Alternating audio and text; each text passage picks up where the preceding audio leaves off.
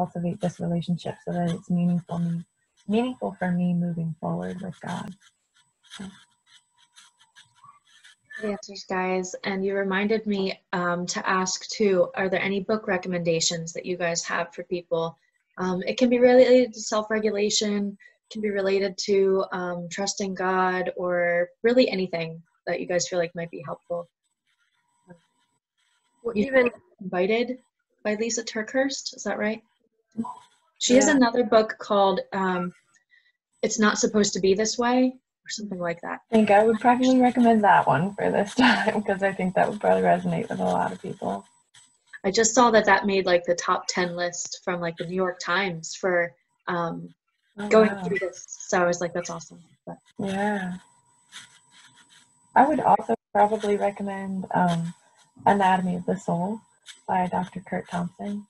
Um, he's a psychiatrist out of Virginia, and he actually parallels some spiritual disciplines and practices with um, interpersonal neurobiology. So if you're kind of interested in the brain and how it works and how it processes, um, he kind of pulls some things from that and parallels them to spiritual disciplines. So definitely beneficial to in this time if you're trying to explore that relationship with God a little bit more even with what I was saying earlier, as far as like devotions and you know even reading reading the Bible, um, YouVersion is a really good app. Um, you can get it on your phone, so it's like always with you. Um, but they have a lot, like I think hundreds of, and thousands of different devotionals that you can do, um, and some of them have questions. They all have like things to think about as you're reading through. Um, and then they typically provide a few passages from scripture to read through as well. Um, but I like using that because you can bookmark things, you can highlight all of that um, so that you see it later on and you're reminded of things. Um, but even kind of, I mentioned earlier um, with the quote, so Dr. Caroline Leaf, um, a great author, and I know she has a podcast too. So, you know, if reading maybe isn't your thing, maybe try out her podcast. It's not always, um, well, sometimes there is a little spiritual aspect to some of it, um, but uh, any of her books too would be really good, I think, for the whole topic um, with self regulation and just focusing on, you know, getting through things. So, yeah.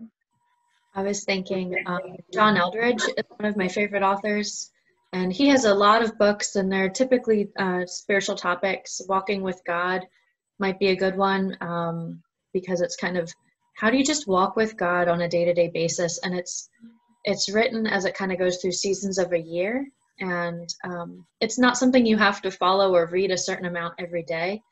Um, it's not really even in chapter form, which is kind of cool. So yeah, but that might be a, a, good one if you're just kind of exploring what does a relationship with him look like. Um, and I don't know if this is morbid, but um, with a lot of this pandemic stuff, you know, obviously we're hearing really sad numbers every day and the death toll rises every day. And I think a lot of people are, are kind of wondering about death and heaven. And he actually has a really good book on heaven called All Things New.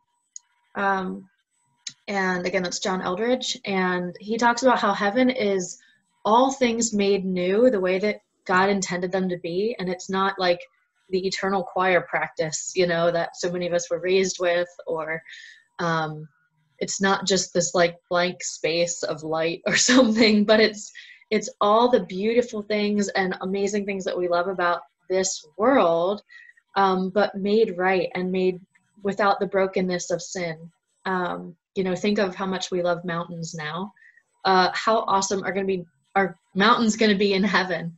Um, or like you know all of us sitting here love horses um, how awesome is our relationship with horses going to be in heaven?